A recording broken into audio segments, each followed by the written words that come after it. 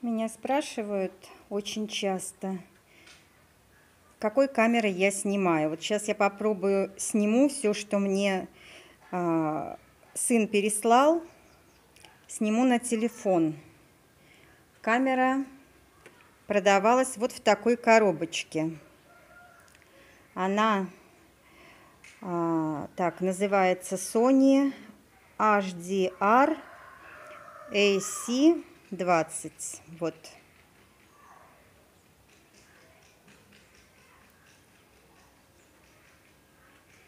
Вот так. Очень удобная камера. С ней вот она сама как выглядит. Нет дисплея, только могу включить, выключить, делать фото могу внутри карта памяти. Сейчас. Вот такая карточка. Очень много памяти. 64, да? Ага. Ну, несколько дней, я помню, снимала, там чуть не тысячу видео у меня маленьких вышло, небольших, но а, она так и не заполнилась. Вот, ее, конечно, Минус мне вот говорит девочка моя, которая помогает, э, дает хорошие советы, потому что она профессионал, профессиональный оператор. Она говорит, ты поставь ее куда-нибудь. Поставить я ее не могу, потому что она овальная. Но зато она вот такая удобная, что я ее... Вот она у меня помещается в таком маленьком футлярчике, как кошелечек. И я ее вот так вот в руку зажала и пошла снимать меня некоторые даже не видят и не понимают. Потом только раз таки, что это такое, спрашивают. Вот, 65 грамм всего весит. Очень удобно снимать ей.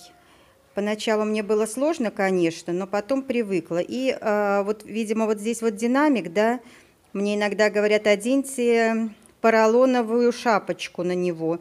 Но куда я шапочку одену? Шапочка тут соскользнет, неудобно. Ветер залетает иногда, конечно. И самое главное, вот не закрывается вот этот объектив, поэтому с ним надо аккуратненько. Я так кладу вверх объективом в эту сумочку, чтобы ни до чего не дотрагивалась. Есть вот такой футлярчик. Если в него положить, то уже можно прикрутить и поставить или на штативчик. И даже этот футлярчик водонепроницаемый, можно снимать под водой, но я ни за что не рискну снимать под водой. Есть вот такая удобная платформа.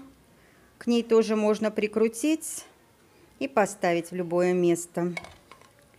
Есть длинная Такая палочка, которая как удочка выдвигается и, наверное, метра два. В общем, добраться можно куда угодно. Тоже камеру можно вставить сюда, но только в футлярчике в этом пластиковом. Ну, вот такие проводочки, естественно. И есть, это крепится как скотч и вот здесь можно прикрепить на шлем.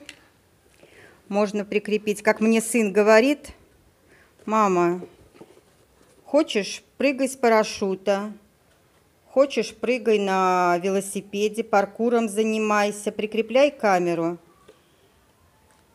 Я говорю, ты о маме хорошего такого мнения, что значит мама вот так вот может сейчас прыгать. Вот. А тогда, вот, пожалуйста, вот там нарисовано, э, сфотографировано, пожалуйста, он к шапочке к своей или к шлему куда-то прикрутил. Да, наверное, молодежь так как раз и прыгает. Много всяких документов. А, вот еще вот эта вот крепежная такая штучка. А, стоила она вместе вот год назад он мне ее купил, подарил. Стоила она все вместе, по-моему, 15 тысяч. Такой бюджетный хороший вариант. Мне понравилась, мне она очень нравится. Поначалу я, конечно, расстроилась, но как это так? Дисплея нет, я не понимаю, что я снимаю. Потом научилась просто вот так наводить, я уже и другим говорю. Наводите как пистолет, когда хочу, чтобы они меня сняли. И сейчас просто э, довольна настолько, что уже не хочу никакую другую. Раньше рассматривала варианты и побольше, ну, для себя думала, что, может быть, о чем-то помечтать. Нет, теперь ни о чем не мечтаю. Очень нравится. А одна, вот сейчас бы, наверное, я даже просто покупала для себя только эту камеру, потому что я больше ничего сейчас за собой не ношу. Нет, этот удлинитель, не футлярчик. Может, потом буду использовать со временем. А сейчас нет, мне вот этого хватает. А, и сама эта камера одна, по-моему, 11 тысяч стоила. Замечательная.